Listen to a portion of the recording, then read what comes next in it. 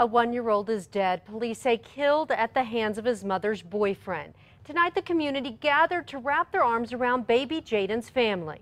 Here's News 13's Gabrielle Burkhart. His accused killer is in jail tonight while friends, family, and those who know what it's like to lose a child remember Jaden and mourn the loss of a life taken too soon. It's hard to find the words.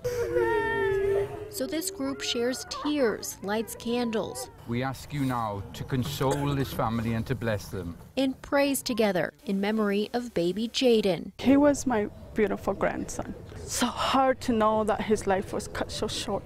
Jaden was just 14 months old when police responded to his home in northeast Albuquerque Monday.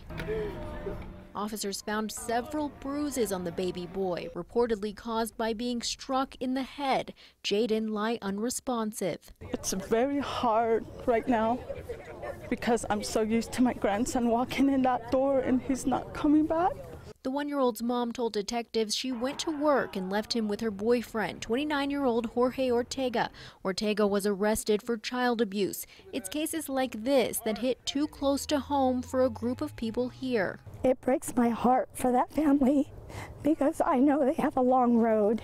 Tracy Sylvia is with Grandmas on a Mission, Women of Murdered Grandkids. Their mission to stop child abuse. Sylvia's granddaughter was killed more than three years ago. Our statement is we will not be silenced until it doesn't hurt to be a child. Her group is among friends and family tonight as they shared stories of Jaden's short life, a boy with an infectious smile who loved monkeys. His loved ones pray Jaden won't be forgotten. We love you, Jaden!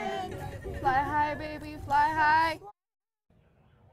Services for baby Jaden will take place next week in Gallup, New Mexico. Then the family plans to bury him near the New Mexico border in Arizona, where the family is originally from. Back to you. All right, thank you, Gabrielle. Detectives believe Ortega was drunk. He's still in jail on a $500,000 bond.